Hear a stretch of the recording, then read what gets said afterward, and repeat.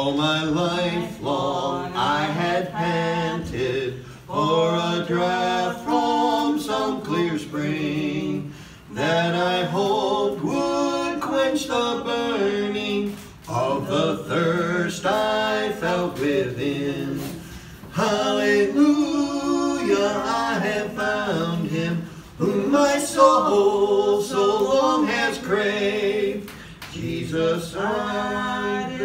my longing. Through his life I now am saved. For was I and sought for riches, something that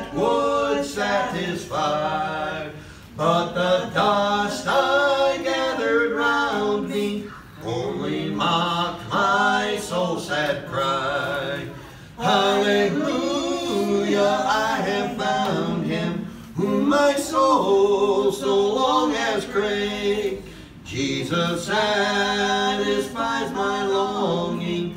Through his blood I now am saved.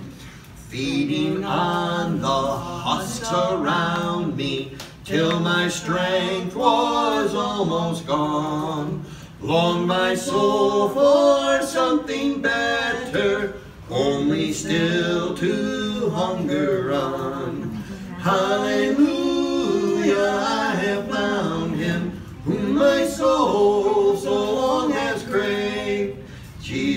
satisfies my longing, through his blood I now am saved.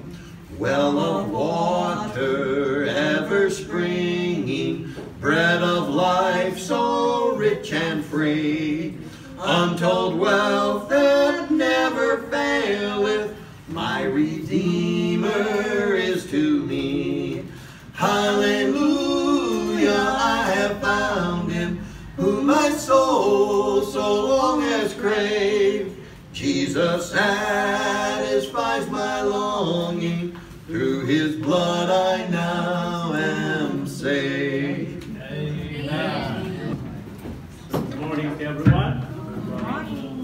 a great joy to be in the house of the Lord. Amen. Amen. Yeah. Uh, yeah, we'll uh, go direct to the introduction of our speaker. Our speaker is from USA, of course.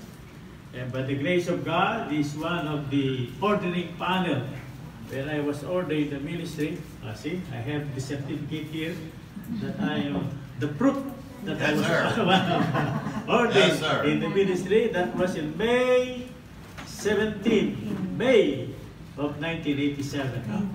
By the grace of God, uh, through their prayer, no? Uh, we just continue to serve the Lord, serve the Philippines for almost 15 years. Went to Malaysia, but we are kicked out in Malaysia until God led us in uh, Cambodia. And when we were uh, kicked out in uh, uh, Malaysia, we just asked God, why, why, why? Until one day, a missionary said, Brother Kiros, if Malaysia is closed for the gospel, accept the Lord. Why don't you come to Cambodia and minister to the Vietnamese people? So I said, Lord, provide us for ticket. And in September 20 of 2001, we are on the airplane going to uh, Cambodia no? with only four plates, four glass, for pork and for spoon and for hundred dollars we are here in Cambodia. God is good, amen? He just supply the burdens. So thank you for uh, praying for us. Many are praying for us all over the world. And the Filipinos also in the Philippines. Now, now today, yeah, it's a great privilege after 27 years of uh, no communication with the Askin family. And by the grace of God, last year we saw Madam Ruth Ann in the Facebook and I was so very happy. Then we met in Vietnam. Now uh, they are here in Cambodia. So let's welcome our pastor, uh, Dr. John Asquith. Let's all rise up and respect to the medal. Pastor, please. Sir, thank you.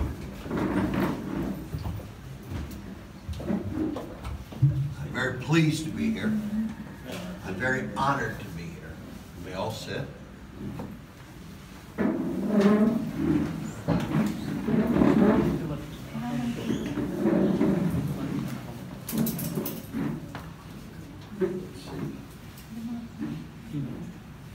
Recording devices are something the Apostle Paul didn't have to worry about. All right. Well, we don't need to turn there, but I am going to talk for a moment about Acts chapter 2. We're going to talk about it, and then we will turn to our main text. But in Acts chapter 2, when Peter stood in front of the people, they had all heard a great miracle. They are hearing the gospel preached in their own tongue. And so they ask questions because they want to understand how this happened. They don't recognize Peter's authority. They don't think he has any authority. They don't recognize anything of that sort. So he had to convince them from the Word of God. Very good. Let's wait a moment. We have some very good guests coming in. Yes, our friend Philippine. Oh, very good. Yeah, teachers. Very good. Wait just a moment. We're not to get the seat. It's so good that they're here.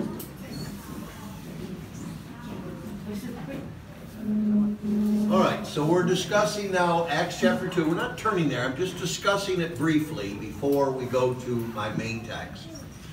But Peter had to convince these people that he is right. Today, if Peter talked to us, we'd say, oh, he is Peter. We know he is right. But these are people who didn't know Peter. They don't know he's right. So instead, he had to reason with them. He had to make them think. And so he quoted the 16th Psalm. In the 16th Psalm, the Lord says, His soul was not left in hell, neither did his flesh see corruption. So the question is, who is that psalm talking about? Is that psalm talking about David, who wrote the psalm? Or is it talking about the Messiah? Hmm. And Peter said, let's be logical. David is dead. His grave is here with us to this day. Therefore, it cannot be David that it's talking. It must be the Messiah. This is who it's talking about, the Christ. Okay? So, Peter taught us a rule. The rule is this when we are reading the Psalms, and what is said in the Psalms cannot be about the author, it is impossible to be about the author, then we know it is talking about Jesus Christ. Okay? That is a very good rule. With that in mind, let's everyone turn to Psalm 18. Psalm 18.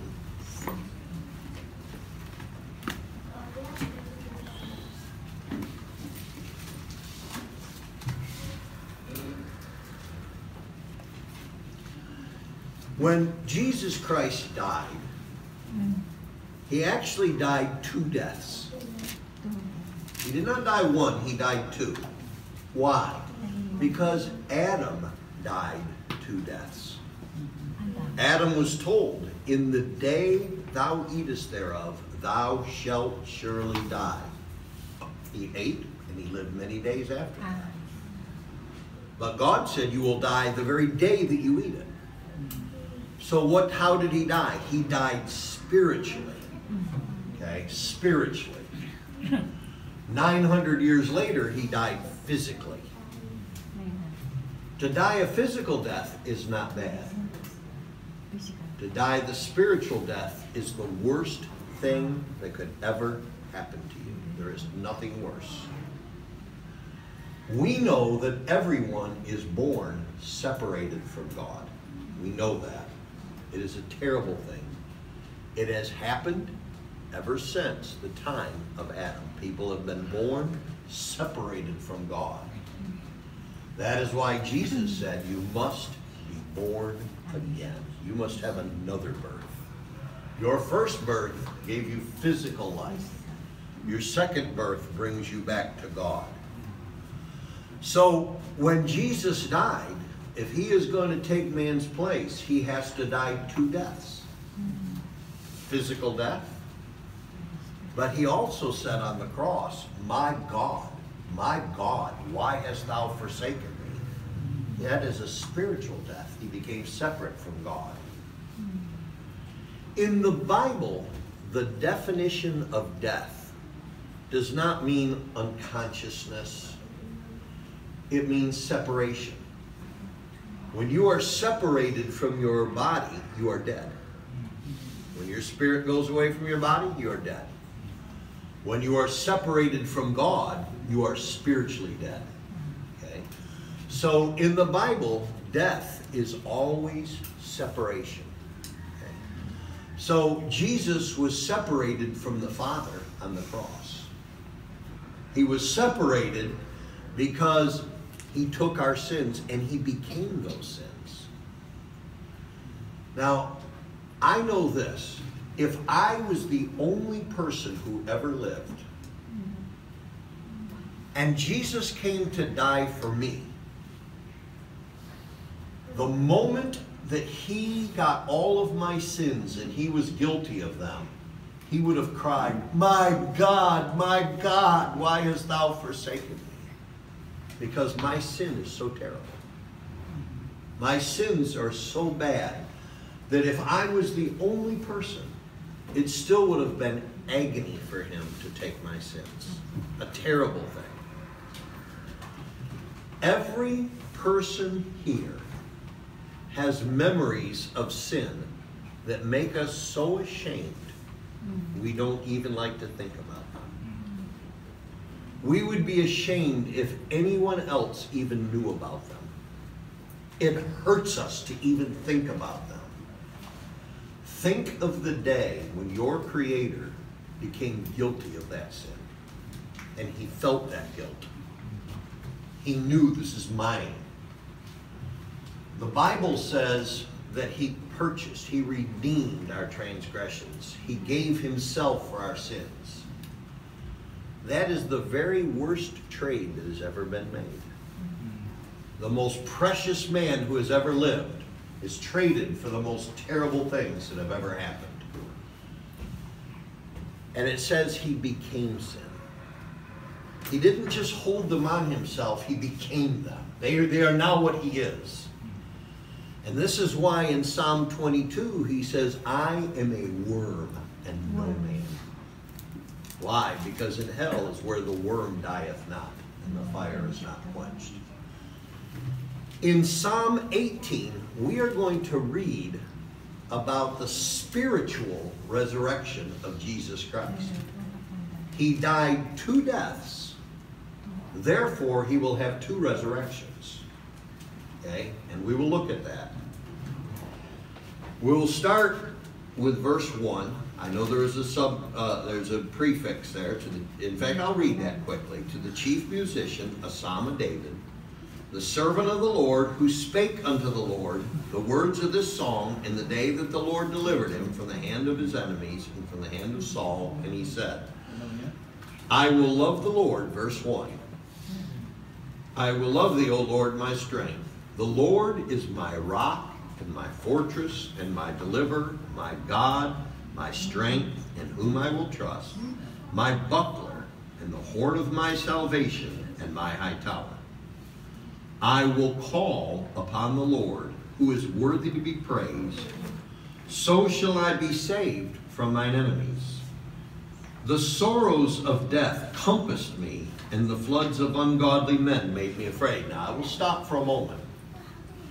So far, everything that is written could easily be David. Many times his enemies made him afraid. Many times. To say compassed means it is all around him. Okay? They're all around him.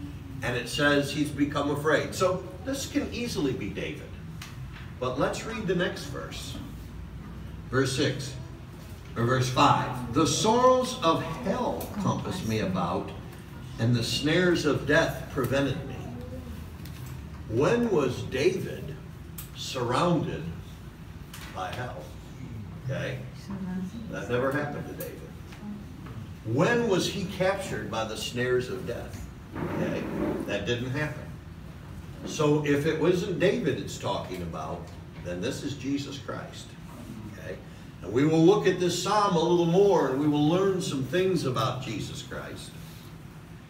Verse 6 In my distress I called upon the Lord and cried unto my God. He heard my voice out of his temple, and my cry came before him, even into his ears. Verse 7 Then the earth shook and trembled. The foundations of the hills moved and were shaken because he was wroth. Now, when Jesus was on the cross, did the earth shake? Nope. Ah, it did. There was an earthquake. All right? There was a great earthquake, so the earth shook. But he answered, I, you know, I asked people for an answer. I'm glad that he's paying attention. Okay? That's a good thing. This is how he learns. All right? But there was a great earthquake when he was on the cross. Okay? And so the psalm says, God heard my voice and the earth shook. Okay?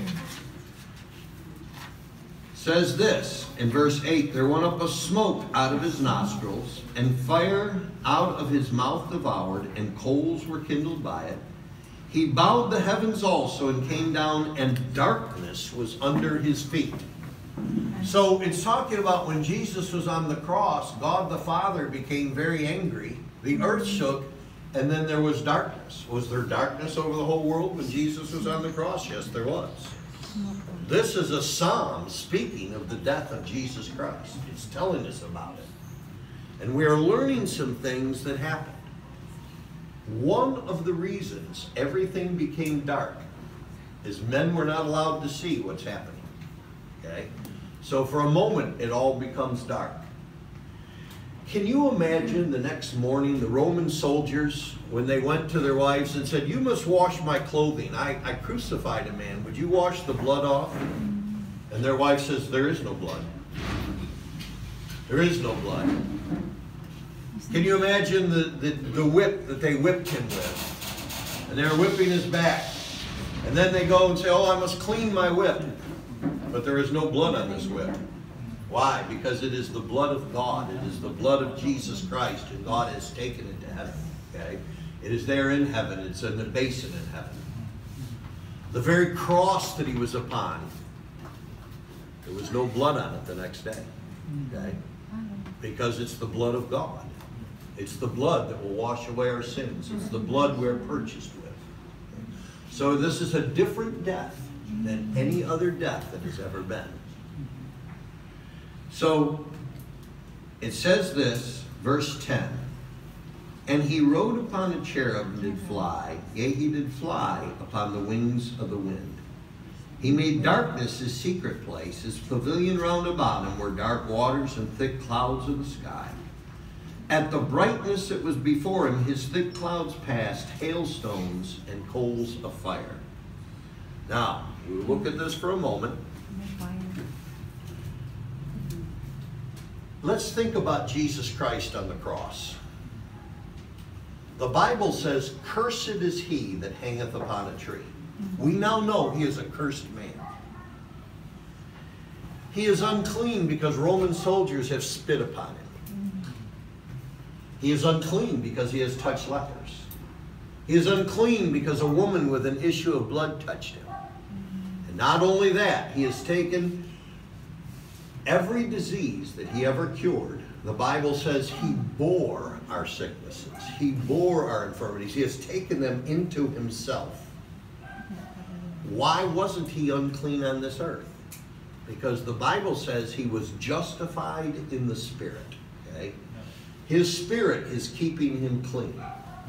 That's why the Apostle Paul says, the law of the Spirit of life in Christ Jesus hath made me free from the law of sin and death. Paul says, I was just a sinner. I was a terrible man. But then Jesus Christ gave me his spirit, and now the law cannot take me to hell. Okay? I am not unclean anymore. But what we see on the cross is Jesus gave his spirit back to the Father. And now there is nothing to keep him from being unclean. All the diseases that he had cured are now upon him. All the sins that he has forgiven are now his sins. All the things that have touched him to make him unclean have made him unclean. He has become sin. And it is a terrible thing. But also it has made the Father angry. And the Bible says he cried unto God, and the Father heard his voice. Okay? He has cried unto him. Let me tell you something. Every sinner who has ever cried unto God has been heard. What God is looking for is the true cry of faith. That's what he's looking for. Some people cry unto Jesus Christ, but it is not a cry of faith. Okay? We discussed last night how that God will not despise a broken heart and a contrite spirit. Many people today have a broken heart. They have taken drugs, their life is sad, their heart is broken. They call to God. Many people are sad because they have committed sexual sin. Their heart is broken. They cry to God. But what they don't have is that contrite spirit. They are not humble inside. They are not meek inside. They, their pride is still there. And you must have both. You must have that broken heart and that contrite spirit. Part of the problem with soul winning today is the soul winner does not wait for the person to have the contrite heart. They just make them pray a prayer quickly and tell them, now you are saved. And then that person is not saved. Okay? And that's a very sad thing. And then it is very difficult to get that person saved because they're what someone told me I am saved. Maybe I am saved. Maybe I'm not saved. I am not sure if I am saved. Mm-hmm. And this is a terrible condition to be in. I was in that condition for two years before I was saved. My wife was in that condition for 17 years before God was so merciful to her and showed her her sin and showed it to her. And it was so plain to her and she could come to him. So Jesus Christ on the cross, he has taken our guilt. What we are, he has taken it upon himself. And the Father is angry, and the Father is going to do something about it. So we will look now at verse 13. The Lord also thundered in the heavens, and the highest gave his voice, hailstones and coals of fire. Now, here we have a very strange verse because it is talking about two persons, and each one is God. Okay? The Lord is Jesus Christ. How do we know that? Because the New Testament tells us Jesus is the Lord. But wait a second. I have been telling you it is Jesus on the cross, and he is crying. Then how is the Lord in heaven doing this? Because remember, Jesus gave his spirit back to the Father. Okay? So Jesus now has been ripped apart. He has been torn apart. When you study the Old Testament, the book of Leviticus, you will find that a very poor man who could not bring a good sacrifice, he could go catch, he could get a turtle dove, a bird. Okay? I remember when we lived in the Philippines, Emmanuel used to catch birds and he would fly them like a kite. and he would have a little string on them. He'd fly the birds around, all right? And I, but I teach that because I tell people, oh, even a little Philippine child can catch a bird, you know, I would say. All right? So the thing is, they would have this bird and they would bring the bird to the priest. Mm-hmm. And the priest would take the bird and he would do this and wring the head off of that bird and tear it mm-hmm. apart. Mm-hmm. What is that a picture of? It is a picture of the Godhead being torn apart at the cross. For all eternity, God the Father, the Word, Jesus Christ, and the Holy Ghost have had perfect love for each other for all eternity. It has been holy, it has been perfect, it has been good. And now it is torn apart because one of them has become sin. Jesus did not want to become sin. He said, Father, take this cup from me. Oh, take this cup. He said, Nevertheless, not my will. Now, there are some people who think that he was afraid of death, of the cross. I don't believe that. I have heard of very brave soldiers walking into death without fear. Okay? From many lands, they have done that. I don't think Jesus Christ was more afraid than those soldiers. What he was afraid of is bearing my sin. This is what he feared, to be so unclean. Okay? He was afraid of that moment when he would be separate from the Father. He is afraid of that second death. That is the most terrible death. And so when he gave his spirit back to the Father, then his soul was made an offering for sin. Okay? Now, if you go back to the book of Leviticus, every offering for sin gets put in the fire. There are no exceptions. That's why the psalmist said his soul was not left in hell. Okay? He was put in hell, but it was not left there. Why? Because he must fulfill the word of God. He must fulfill the law. And so what we're looking at here is the moment when the Father comes to rescue him from hell. Now let us think for a moment. The Bible is a, an extremely accurate scientific book. We know that the earth is round. One of the ways you could know that from your Bible is this. The Bible says that hell is a bottomless pit. Well, there is only one way that it, it could be a bottomless pit. Only one way. Okay? How could that be? Okay? The only way that could be is to have a round world, and in the middle of that world is hell. So, when I was a little boy, my sisters and I, we would go in the backyard and we would say, we will take shovels and we will dig a hole and we will go to China. this is what we'd because we were little children. We would see a globe and we'd see the China's on the other side of the world. We'd think, oh, we will dig a hole and we will get there. We never got to China, all right? All we did is have our parents tell us you are very bad children. You have got holes in our yard, all right? But let's say that I had that ability. I could dig a hole and I could go all the way through the earth.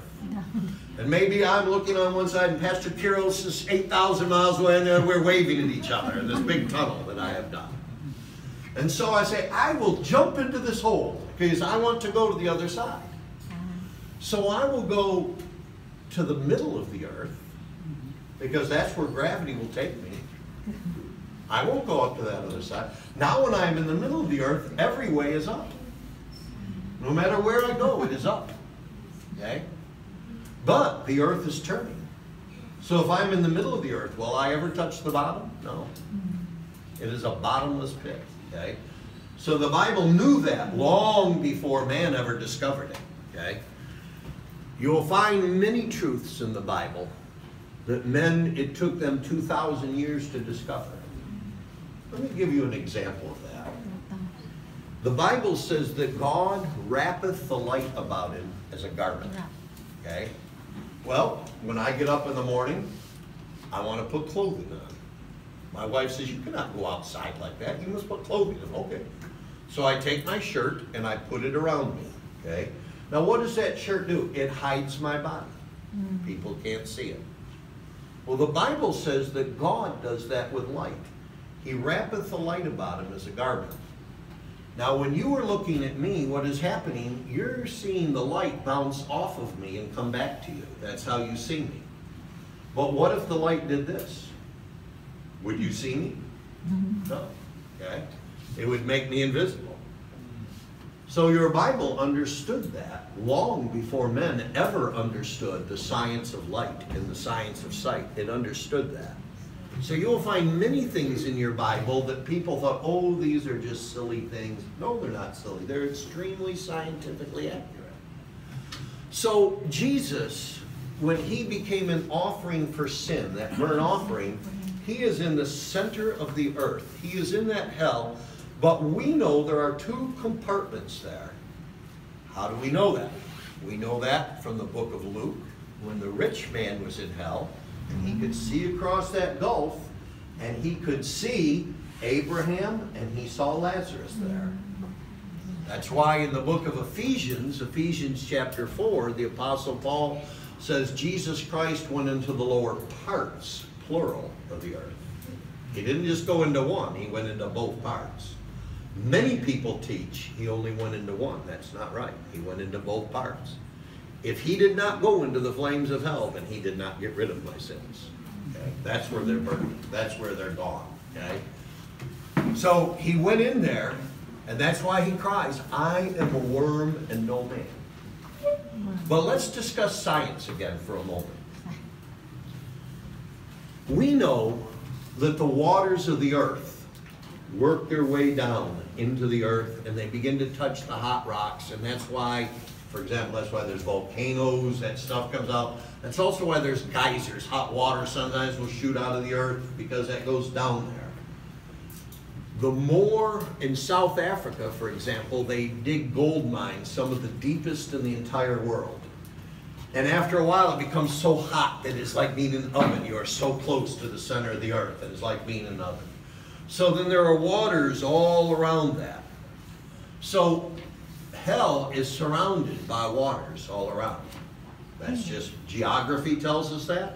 Our Bible tells us that. Okay? So let's watch this here. Verse 13 again The Lord also thundered in the heavens, and the highest gave his voice, hailstones and coals of hmm. fire. Yea, he sent out arrows and scattered them, he shot out lightnings and discomfited them. Then the channels of waters were seen, and the foundations of the world were discovered at thy rebuke, O Lord, at the blast of the breath of thy nostrils. Verse 16, he sent from above, he took me, he drew me out of many waters. If you remember what Abraham told the rich man, he said, You are over there now? There is a gulf between us, and no one can pass over that gulf. Well, no one could until Jesus Christ did. Okay? Jesus Christ was able to pass that gulf. The word Hebrew means the one who crossed over. Abraham was called the Hebrew because he crossed over the Euphrates River to be with those people. Paul said, I am a Hebrew of the Hebrews because all the rest of you were born in Jerusalem. I crossed over the Mediterranean Sea to study with you. I am the Hebrew of the Hebrews. Jesus Christ is the true Hebrew. He has crossed that gulf. He has gone from hell and brought to paradise because it says in verse 16, he took he sent from above, he took me, he drew me out of many waters. He delivered me from my strong enemy and from them which hated me, for they were too strong for me. They prevented me in the day of my calamity, but the Lord was my stay. He brought me forth also into a large place. He delivered me because he delighted in me. That is the spiritual resurrection of Jesus Christ. When did it happen? It happened on the same day he was crucified. How do we know that?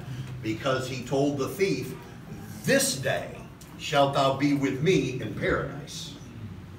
So, when Jesus Christ died, his soul has become sin. He goes into the flames of hell as a burnt offering, and he cries unto God. God heard him and is angry and comes down to the very foundations of the earth and brings him out of hell and brings him into that large place. That's really why Psalm 23 was written. The Lord is my shepherd, I shall not want. In other words, he has done this in the presence of mine enemies. Can you imagine all the people in hell looking over at this man, Jesus Christ, who was delivered out of hell? In the very presence of his enemies, now he is comforted. Can you imagine for that thief on the cross, here comes Jesus, that man who promised he would be with me today, and he has come. That's why it says in the book of First Peter, he went and he preached unto those who were captives, those spirits. He preached to them. He told many of them, I am the lamb that was to come that you did not believe in. I am that lamb. And then he crossed over that gulf. Now let's go to Psalm 116.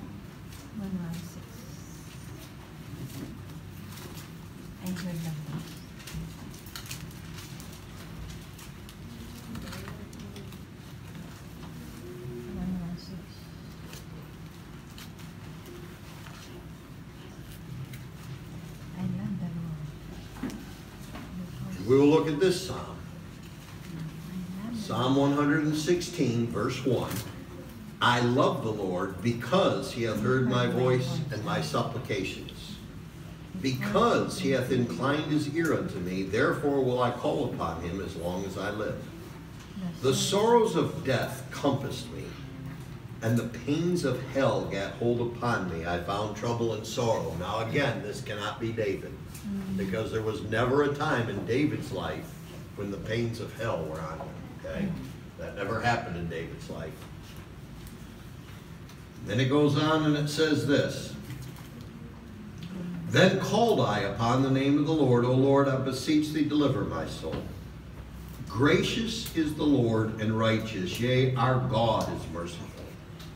The Lord preserveth the simple. I was brought low, and he helped. Return unto thy rest, O my soul, for the Lord hath dealt bountifully with thee. With thee. For thou hast delivered my soul from death, mine eyes from tears, and my feet from falling. Why were his feet falling? Because he was in the bottomless pit. He could never hit the bottom. That is one of the awful things about hell. But you know, if we were to list the things about hell that are very terrible, oh, I think the devils would be very terrible. I remember as a child, I would lay in my room sometimes and I would be so afraid that there are things in my room. And, you know, and my parents would tell me, oh, you're a naughty child, there is nothing in your room, you know, and, and but I would be afraid. And, and, but imagine being in hell where there really are those things. And then the fire of hell. And it never goes out. And it is always there. And the thirst. Thirst is a terrible thing. It's an awful thing. When I was in uh, Pangasinan, Brother Kiros helped me to find three Filipino veterans of the Bataan Death March, Bataan Death March. And I talked to those three men, great heroes, wonderful men. And they all talked about the terrible thirst. Because the Japanese were so cruel. These men are marching and they are weak from months of fighting without much food, and now they are marching and they are so thirsty they cannot even think they are so thirsty. Mm-hmm. One of them told me he saw a pump and he ran over to the pump and he pumped it quick. He didn't even care if a Japanese mm-hmm. soldier shot him. And he put his hands down and he drank like this. And he said a Japanese soldier kicked him, trying to kick his mouth, but his hand saved his life because his hands were there. But he got just enough water to make himself last to be able to get to the camp. Those were very great men. But thirst is a terrible thing.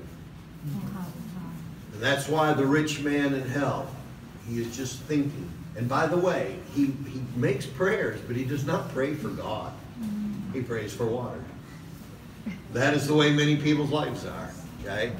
All they do is pray to God for things, for things, for things, okay? But they do not pray to God to know God, to have God, to have forgiveness. This is not their problem. All they want is things. They want things. Okay? And even the rich man in hell, he did not change. That's just how he still was. But the worst part about hell is that it never ends. There is never a time when it stops. If I put you in jail today and said you must be there 100 years, Oh, that would seem so terrible, but you would begin to count. You would wake up tomorrow and you would say there are only 99 years left and 364 days. Okay? After 10 years, you would say, ah, only 89 years, 364 days. You would count those days. And maybe you would say, oh, three years left, two years left, two days left. And finally that day would come and you could get out of this jail. But if you go to hell, there is never that day. Mm-hmm. It's over. The moment you go there, it is stopped. There is no more help. I fear for many people in the churches because some of them have what the Apostle Paul calls a vain faith. Mm-hmm. A faith that is not a true faith. It is not a faith that is secure in Christ Jesus. They have heard other people and they're copying these other people. They've even prayed a prayer, but it was not a prayer of faith. There was never any repentance. And so I always warn people in churches what the Apostle Paul warned examine yourselves. Whether or not ye be in the faith, you do examine yourself. You check yourself and make sure that I really have the faith of Jesus Christ. Yes. John Wesley was a preacher and a missionary before he ever got saved. And he ran across a group of people called Moravians. They were Anabaptists. And they told him, Mr. Wesley, if the Spirit does not bear witness with your spirit, you do not have salvation. And he began to think about that very much. And he began to realize, he wrote in his diary and said, I have gone to the mission field to save the heathen, but who will save me? Okay? Who will come and help me from this? And finally, he went back to England where his home was. And he ran into another Moravian by the name of Peter Böhler was his name. And Peter Böhler talked to him about this thing of knowing for sure you are saved and having this inward faith that God has given you, that you really belong to God. And John Wesley said, but I don't have that. And he said, should I stop preaching? And Peter Böhler told him, no, you preach faith until you have it. Then you preach faith because you have it. Okay? And so he went, he told his brother Charles about this new thing. That there is a way you can really know and you can for sure have the Spirit of God inside. His brother Charles scolded him and said, You are confusing me. You are a bad man to say this. Okay? Then Wesley got a, a letter in the mail, and Charles says, I have found this faith. His first song was that my God should die for me. But thou, my God, shouldst die for me. It's the first song that Charles Wesley wrote because now he has this faith. And then a few weeks later, John Wesley got that faith and he began to preach that faith. And that is the faith that we preach. Come ahead, sir.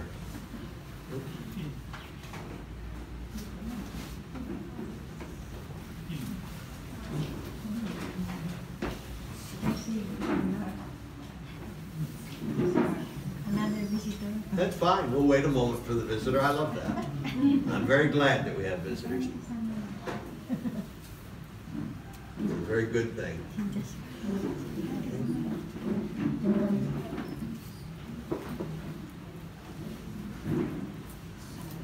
All right. Well, we'll go on a little bit more. We're going to look back here at Psalm 116 again. Ah, here we go. One, one,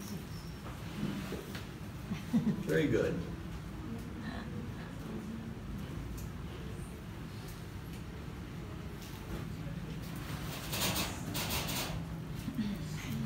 So back in Psalm 116, One, one, six. it says this in verse 9. And what we're about to look at is the faith of Jesus Christ. We're about to look at what Jesus Christ said when he was in the flames of hell. This is what he said.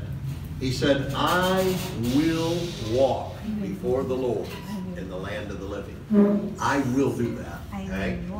I will walk before the Lord in the land of the living. People ask me, how sure are you that you are saved? You know what I tell them? Mm-hmm. If I woke up tomorrow in hell, I would laugh. Because it is impossible for me to stay there. If I woke up tomorrow in hell, I would laugh and say, Ha, I cannot stay here. I have the faith of Jesus Christ. He has purchased me with his blood. I have the faith inside. If you took a basketball and you went to the ocean and said, I will hold this basketball down very low in the water. If you let it go, what will happen? Okay? If I was put in hell, I cannot stay there. Why? Because I have the faith of Jesus Christ. He has loved me. He has given himself for me. And the faith of Jesus Christ is verse 9. I will walk before the Lord in the land of the living. He said in verse 10, I believed, therefore have I spoken. I was greatly afflicted. In 2 Corinthians 4, verse 13, the Apostle Paul quotes that very verse and says, We have that same spirit of faith. We have that. That is what he gives to a repentant sinner. Let me tell you something. When the worst person in the world sees their sin and they come to Jesus Christ and they are broken and they have no hope and they crawl to him for mercy, he reaches inside of himself and he gives them that faith. He gives them that. And now inside of them, it is like a light inside of them, and they now have a hope and they have a faith, and it changes them. If any man be in Christ, he is a new creature. Old things are passed away, all things are become new. He changes that person. It is impossible for a person to become saved and not change. Some people change on the outside. I could take Pastor Kiros' little dogs, and I could put a little hat on them. I could make a little shirt for them, okay? Maybe I can teach them to walk on their hind legs, okay? But they're still a dog, okay? If we drop food on the floor, they will eat it, all right? They're a dog, all right? Sometimes people come to church and they change on the outside, but they never change on the inside. Nothing has ever changed. The faith of Jesus Christ will change you on the inside. On the inside. And when the inside is changed, the outside will slowly change. It will slowly become something different.